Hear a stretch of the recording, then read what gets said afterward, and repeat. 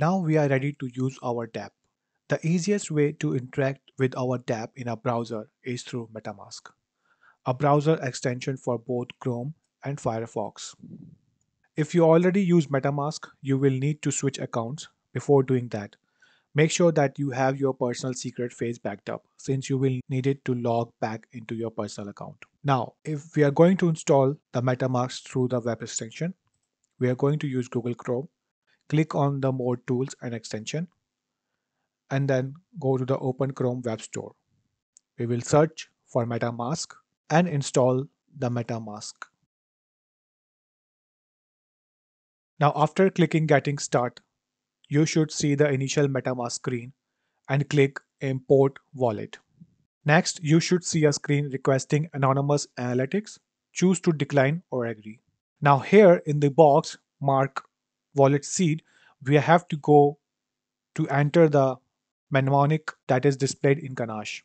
We will open the Ganache and we can see the mnemonic is written here and we are going to copy paste all these words in the MetaMask for the wallet.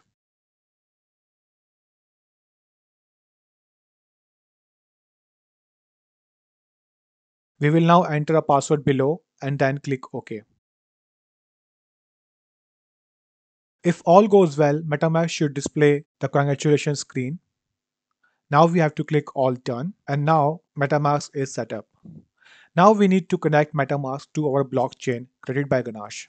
Click the menu that show main network and then select add network. In the network name, we are going to write localhost.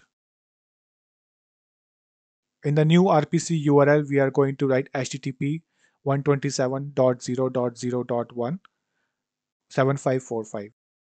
In the chain ID, we are going to write 1337 and the currency symbol, we are going to write ETH and we will save this network.